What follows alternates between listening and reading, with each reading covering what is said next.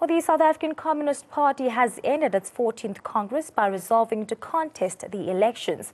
The SACP's second Deputy General Secretary Chris Matlhako says the Communists will contest elections.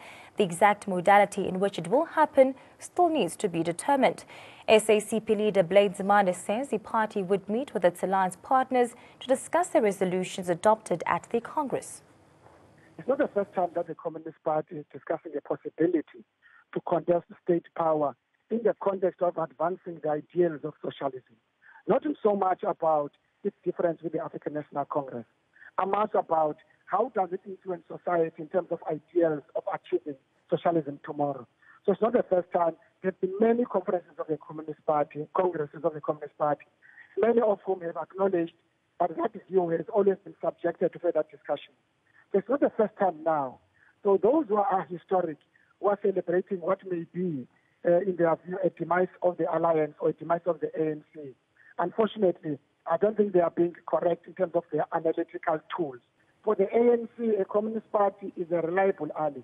We need to sit down and understand the context within which that decision is taken. But most importantly, what does it mean in terms of the call to re- reconfigure the alliance, the call to unite the alliance, because arising out of a successful NPC, the National Policy Conference, is that we must, which, which focused on organizational renewal, we must build our structures, we must strengthen the alliance. To what extent this call, therefore, advances the ANC, but also makes sure that it does not undermine the political hegemony of the ANC in society. We must understand what then are the issues that are raised. Because the issue is that a divorce, it means you have got nothing to do with a partner necessarily. The Communist Party says we will contest state power for obviously ideological reasons, not because it is in flight, it is in contrast with the ANC in terms of uh, leapfrogging and taking the struggle forward in terms of national democratic revolution. Firstly, our resolutions say we may or may not contest uh, separately in the context of a reconfigured alliance. That is why we are talking of a roadmap, which also will be informed by the kinds of engagements that we have. So, allied formations contesting elections independently does not necessarily make an opposition.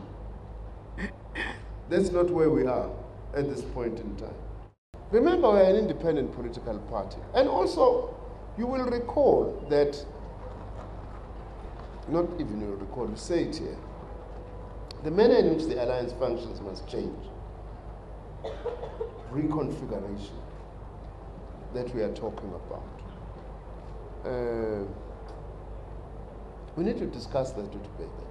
Firstly, whether the alliance as a whole in principle agrees to that reconfiguration. If, if there's agreement, then we are able to sit and engage and say, okay, what, how would that reconfigured alliance if then the, the alliance doesn't agree, then it means the future if the alliance actually hangs in the balance. United Democratic Movement leader Bantu Holomisa has questioned whether the SACP is really going to contest the 2019 national and provincial elections alone or whether its announcement is merely a stage-managed ruse.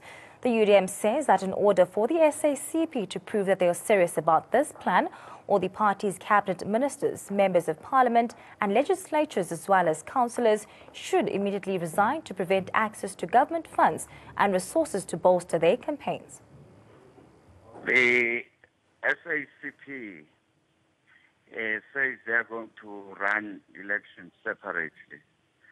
And we are saying they are benefiting uh, through the ANC. They are like parasites.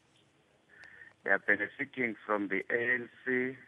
And now if they are no longer going to contest election under the banner of the ANC, but using state cars and so on in the meantime, preparing or building their party, why must we trust them?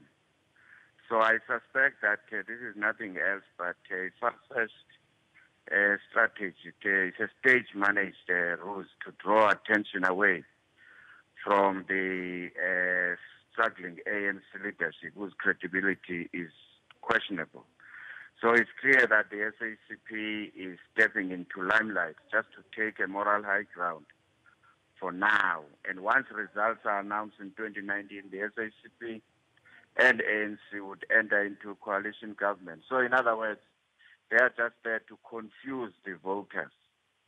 Don't take them serious.